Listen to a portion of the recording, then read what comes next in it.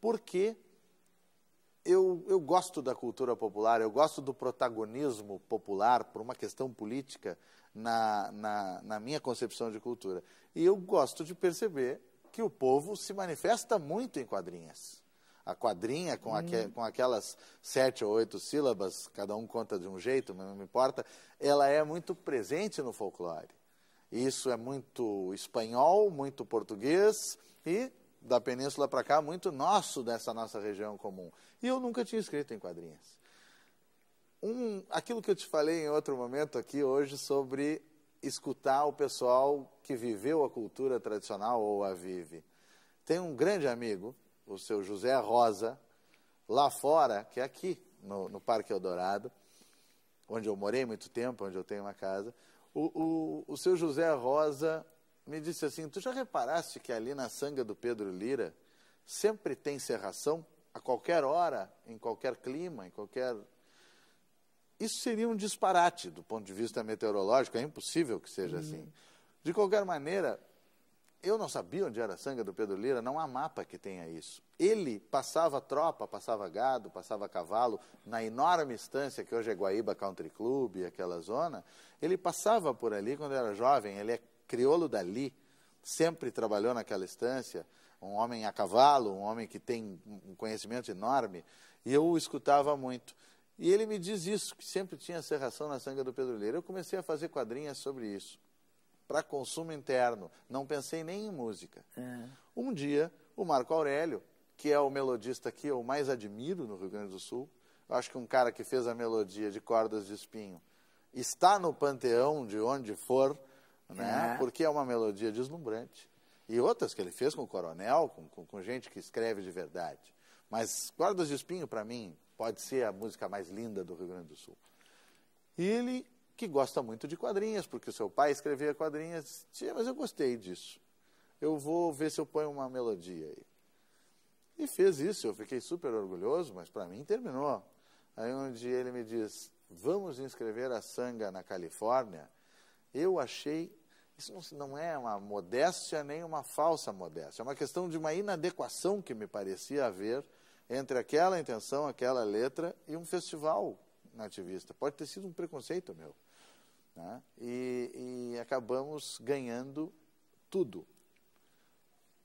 O, o, o, Marco não ganhou o melhor intérprete, e foi muito justo o prêmio, é. que foi para o Pirisca, que interpretou maravilhosamente. Mas nós ganhamos letra, nós ganhamos melodia, nós ganhamos o arranjo do Marcelo Caminha, e as pessoas cantavam e assobiavam a sanga do Pedro Lira. A melodia é simples e maravilhosa. Uhum. E eu digo, puxa, isso é uma lição para sempre. Né? Da, da, da... Mais uma vez eu achei que estava entendendo o que aconteceria com aquele público e não entendi, o que é maravilhoso. Uhum. Mas tu sabes que a partir daí tu tens feito uh, outras composições.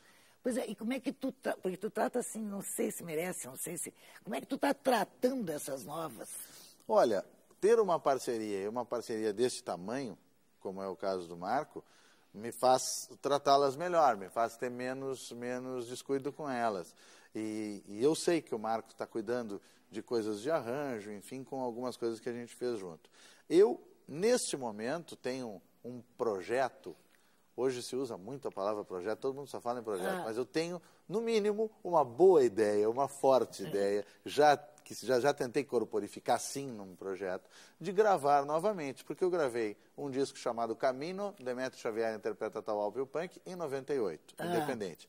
Depois gravei uma tradução de uma poesia longa de Jupank com trechos musicados, que se chama El Pajador Perseguido, gravei bilíngue.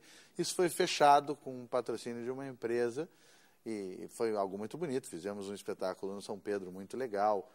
Isso já faz também algum tempo, foi em 2005. Eu quero gravar agora e quero ter a, a, a ousadia, enfim, quero pedir licença para gravar coisas minhas junto com coisas que eu interpreto de autores vários. Uhum. Isso, isso é, o, é o tratamento que, que finalmente eu vou dar para essas composições. Uhum.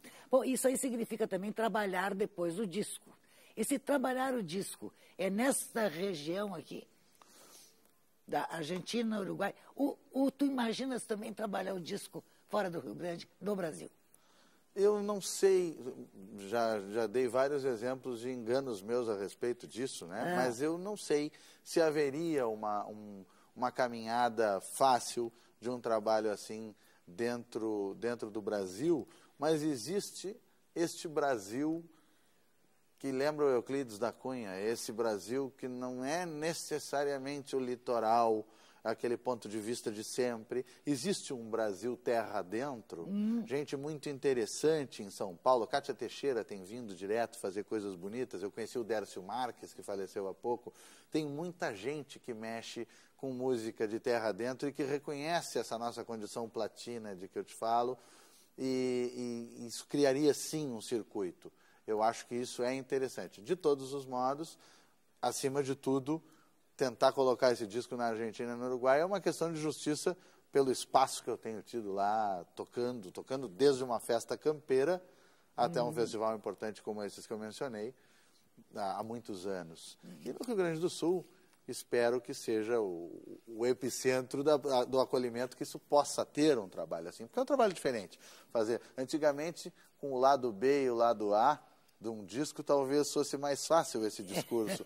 Mas eu quero mostrar isso. Bom, isso aqui é o que eu escrevo, ah. o que eu fiz. Isso aqui é o que eu sempre tratei de ler como intérprete, uhum. né, de fazer a minha leitura.